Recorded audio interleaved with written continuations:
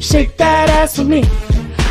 I'm a dentist, an all hygienist. Open your mouth for four or five minutes. Take a little bit of this fluoride in it. Switch, but don't spit it. Swallow and I finish. Yeah, me and Nate did a double G. Looking for a couple bitches with some double D's. Couple little champagne and a couple E's. Sipping in a bubbly piece. A party. Turn the music up. Let's get it started. Go ahead, shake your butt. Girl, I broke in my Hummer truck. Apple bottom jeans and a big old sock. Got it started. Some girls about it, body.